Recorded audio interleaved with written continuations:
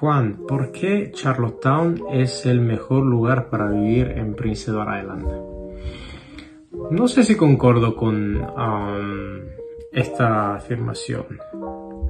Yo diría que sí, Charlottetown seguramente es la mayor ciudad de Prince Edward Island y es, la ciudad donde tienes, tienes todo.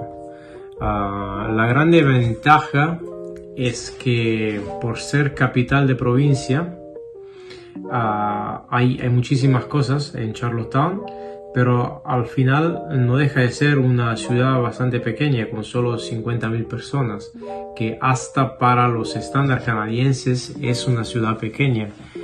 Imagínate si lo comparas con las ciudades de México o de Brasil, son que una ciudad pequeña en, en, estos países tiene 200 o 300 mil habitantes. Entonces, lo que yo veo es que Charlottetown sí es un, es un centro importante, pero uh, para esta realidad, claro, uh, pero no es mi, eh, mi lugar favorito para vivir. Nosotros, por ejemplo, vivimos en Stratford, que es literalmente a cuatro minutos de Charlottetown cruzando el puente. Uh, y el motivo por el cual me gusta vivir acá es porque en Stratford tenemos, um, generalmente son casas más nuevas, uh, son casas con un terreno mayor, entonces tenés jardín y para nosotros que tenemos niños pequeños, uh, nos gusta esa idea de tener espacio y especialmente en el verano poder aprovechar un poco más. Ahora, si vos estás llegando a Canadá y todavía no tienes auto y dependes de transporte público y de repente estás uh, cursando en el college o en la universidad, en ese caso, uh, bueno, sí te aconsejaría vivir en Charlottetown o si estudias en Summerside, vivir en Summerside, por ejemplo.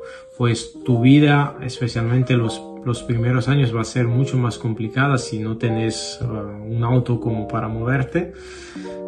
Y, creo que sí, que vivir cerca del college, si esa va a ser tu, tu obligación principal al principio, te va a, te va a dejar la vida más, más fácil y, y realmente sí es algo que deberías considerar.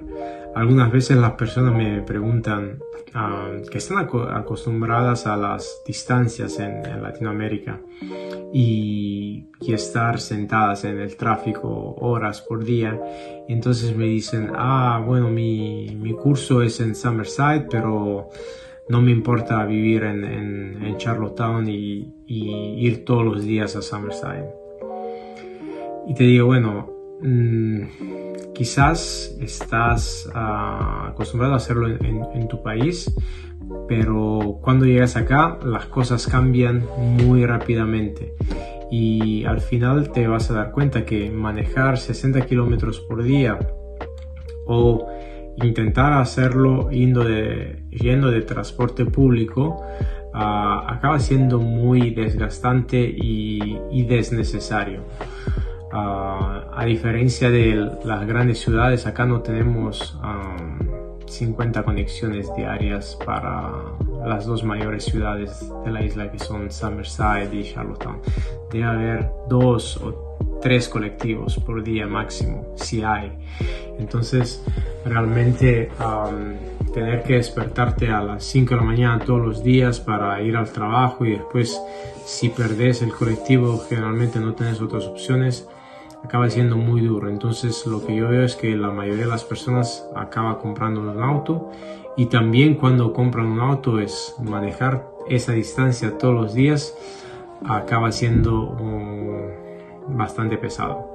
Entonces sí te aconsejo que, que intentes vivir a donde eh, es tu foco primario y, y si ese es Charlottetown, bueno, que sea Charlottetown. Uh, pero mi, mi, favorito todavía uh, es la ciudad de Stratford. Chao.